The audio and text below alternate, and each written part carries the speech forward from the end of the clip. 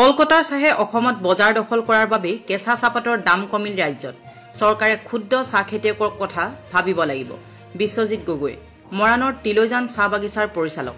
যি সময়ত ৰাজ্যৰ চাহে বিশ্বৰ বজাৰত সবাতোতকৈ প্ৰাধান্য লাভ কৰি আছে সেই সময়ত কিন্তু চাহ খেতিয়কসকলৰ পানীত হাঁহ নচৰা অৱস্থা হৈছে। এফালে কভিড পৰিস্থিতিৰ মাজত ৰাজ্যৰ সৰ্বসাধাৰণ জীৱন জীৱিকাই নিশেষ ৰূপ ধাৰণ কৰাৰ দিশত আনফালে হাজাৰ হাজাৰ নিবনুৱা জড়িত হৈ থকা চাহ উদ্যোগলৈ উদ্যোগলৈ নামি আহিছে দুৰ্যোগ। বহু কষ্ট কৰি উৎপাদন কৰা খেতিয়কৰ কেঁচা পাতৰ এতিয়া মূল্য একেবাৰেই নাই। উচিত মূল্য নাপাই পেলাই দিবলগীয়া অৱস্থা হৈছে কেঁচা পাত খেতিয়কসকলে। ইফালে চৰকাৰৰ সদিছাৰ অভাৱ। ক্ষুদ্ৰ চাহ খেতিয়কসকলে প্ৰতিবাদ কৰিও চৰকাৰৰ পৰা কোনো ধৰণৰ সহানুভূতি লাভ নকৰিলে। ৰাজ্যৰ চৰকাৰে কলিকতাৰ পৰা চাহ আনি অসমত ব্যৱসায় কৰাৰ বাবেই অসমত উৎপাদিত চাহৰ বজাৰ নোহোৱা হ'ল ফলত কেঁচা চাহপাতৰ দাম কম হৈছে বুলি কয় মৰাণৰ আগশাৰী চাহ বাগিচাৰ তিলৈজান চাহ বাগিচাৰ পৰিচালক বিশ্বজিৎ গগৈ। লগতে তেওঁ কয় ক্ষুদ্ৰ চাহ খেতিয়কসকলে কেঁচা চাহপাতৰ মূল্য দিব নোৱাৰাৰ কাৰণ চাহ ফেক্টৰী বুলি অভিযোগ কৰে যদিও প্ৰকৃত কাৰণ সেয়া নহয়। চৰকাৰে কলকাতাৰ পৰা আমদানি কৰা বন্ধ কৰিলেহে ক্ষুদ্ৰ চাহ খেতিয়কসকল ৰক্ষা পৰিব। এই ক্ষেত্ৰত ৰাজ্য চৰকাৰে ল'ব লাগিব মূল ভূমিকা।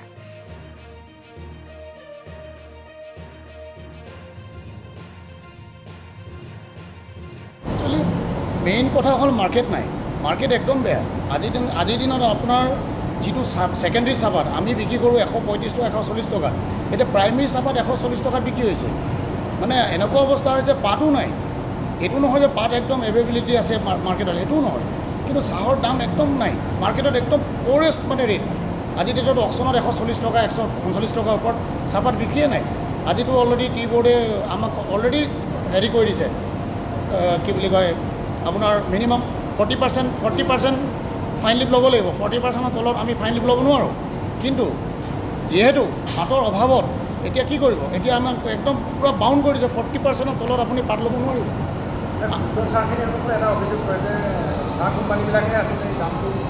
নহয় চাহ কোম্পানীবিলাকে একো কৰিব নোৱাৰে। আজি চাওক আপুনি যদি বিছ টকাত পাৰ কেজি চাহপাত কিনে কেঁচা পাত কিনে বিছ টকা into five four point seven almost আপোনাৰ এশ এশ টকা পৰি যায়।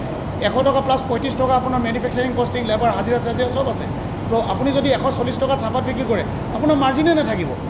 উল্টা আমি লাষ্ট দুমাহৰ আগত এমাহৰ আগত অলমষ্ট আমাৰ ফৰ্টি ফ'ৰ ৰুপিজ আমি ঘৰৰ পৰা দিছোঁ পাৰ কেজিত লছ হৈছে ফৰ্টি ফ'ৰ ৰুপিজ যিহেতু তেতিয়া পাতৰ ৰেট আছিলে পঞ্চাছ টকা forty seven forty eight rupees আজিৰ ডেটত আপোনাৰ বিছ টকা ওঠৰ টকা আমি আজিৰ ডেটত ভাল পাতৰ ৰেট দি আছোঁ up to twenty four twenty five rupees কিন্তু কি কৰিব এনেকুৱা চিটুৱেশ্যন চাহপাতৰ দামেই নাই মাৰ্কেটত অঁ তেতিয়া মাৰ্কেট বহুত ভাল আছিলে। নহয় নহয় যোৱা বছৰ আপোনাৰ মাৰ্কেট বহুত ভাল আছিলে। চাহপাতৰ আপুনি জেনেৰেল আপোনাৰ বটলিপে বিক্ৰী হৈছে দুশ আঢ়ৈ আঢ়ৈশ টকাৰ তলত বিক্ৰী হোৱা নাছিলে। নিজৰ অ'ন গাৰ্ডেনত তিনিশ চাৰে তিনিশ টকাত বিক্ৰী হৈছিলে। আজিৰ দিনত আপোনাৰ এশ চল্লিছ টকা চাহপাত চিন্তা কৰোঁ। মই শুনামতে অকশ্যনত গুৱাহাটী অকশ্যন হওক কেলকাতা বাহিৰৰ পৰা চাহপাত আহিছে। বাহিৰৰ পৰা চাহপাত আহি অহাৰ কাৰণে আমাৰ অসমৰ চাহপাতৰ মূল্য একদম নাইকিয়া হৈ গ'ল।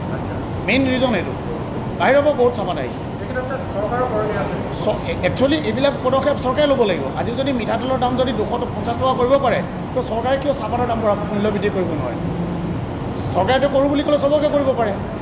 আজিতো বাগান আজিতো চৰকাৰে কৈ দিলে বাগানত দুশ পাঁচ টকা লেবাৰ হাজিৰা দিব লাগিব। বাউণ্ড লেবাৰ হাজিৰাটো দিছে দুশ পাঁচ টকা। ৰেচন দিব লাগিব বনাছ দিব লাগিব চবটো দিব লাগিব কোম্পানী গাৰ্ডেনবিলাকে। কিন্তু চাহপাতৰ ৰেটটো কিয় ফিক্স কৰিব পৰা নাই? আজি ফৰ্টি পাৰ্চেণ্ট ফাইন লিপ লাগিব বটলিপত ক্ষুদ্ৰ চাহ খেতিয়ক কৈছে। ভেৰি গুড বহুত ভাল কথা। সেইটো মেইনটেইন কৰিলে চাহৰ কোৱালিটি বহুত ভাল হ'ব ইম্প্ৰুভ হ'ব। কিন্তু এইটো নহয় যে অকল ক্ষুদ্ৰ চাহ খেতিয়কে ক্ষুদ্ৰ গাঁৱৰ মানুহখিনি কষ্ট পাব। আজি মাৰ্কেটত এটা এশ চল্লিছ টকাত চাহপাত বিক্ৰী হ'ব। বাগানৰ মালিকখিনি কি কৰিব? ক'ত যাব বাগানৰ মালিকবিলাক? আল্টিমেটলি ডিপেণ্ড কৰিব বাগানৰ মালিকখিনিৰ ওপৰত। প্ৰত্যেক বছৰে আহে বুলি গম পাওঁ কিন্তু এই বছৰ এই বছৰ বাহিৰৰ পৰা বেছি আহিছে বুলি কৈছে। বহুত বেছি। অসম অসম চৰকাৰে লৈছে। সেইটো কাৰণে। অঁ উল্টা উল্টা কাম হৈ আছে। গভৰ্ণমেণ্টে যিটো পদক্ষেপ লৈ গৈছিলে সেইটো উল্টা পদক্ষেপ লৈ আছে। গভৰ্ণমেণ্টে অসমৰ চাহটোক ইম্পৰ্টেঞ্চ দিব লাগিছিলে। গভৰ্ণমেণ্টে বাহিৰৰ চাহটোক ইম্পৰ্টেঞ্চ দি আছে। বাহিৰৰ চাহটো যদি কম দামত কিনি কিনে যদি আমাৰ চাহটো যদি ভাল চাহপাত অকণমান কিনি তাৰপৰা কম দামত চাহপাত চাহটো ব্লেণ্ডিং কৰি বিক্ৰী কৰে তো ডেফিনেটলি আমাৰ বটলিপ চাহপাত যিমান ভাল হ'লেও কম আমাৰতো আল্টিমেটলি ক্ষুদ্ৰ চাহ খেতিয়কবিলাক মৰিব। ক্ষুদ্ৰ চাহ খেতিয়কসকলৰ বৰ্তমান সময়টোত এটা বিৰাট দুৰ্যোগৰ মাজেৰে মানে আমি পাৰ কৰিব লগা হৈছে। যে যোৱা বছৰটোত আমাৰ ক্ষুদ্ৰ চাহ খেতিয়কসকলৰ যদিও কৰোণা মহামাৰীৰ প্ৰভাৱত যথেষ্টখিনি ক্ষতি হৈছিলে তাৰ পিছতো আমি ক্ষুদ্ৰ চাহ খেতিয়কসকলে এটা সন্তোষজনক মূল্যৰে আমি আমাৰ চাহ বাগিচাসমূহক বৰ্তাই ৰাখিবলৈ আমি সক্ষম হৈছিলোঁ। কিন্তু বৰ্তমান বতৰ প্ৰতিকূল অৱস্থা বৰষুণ নাই চাহ গছত উৎপাদন নাই। তাৰপিছত আকৌ কৰোণা মহামাৰীয়ে ব্যৱসায় বাণিজ্যত যথেষ্ট প্ৰভাৱ পেলাই দিছে।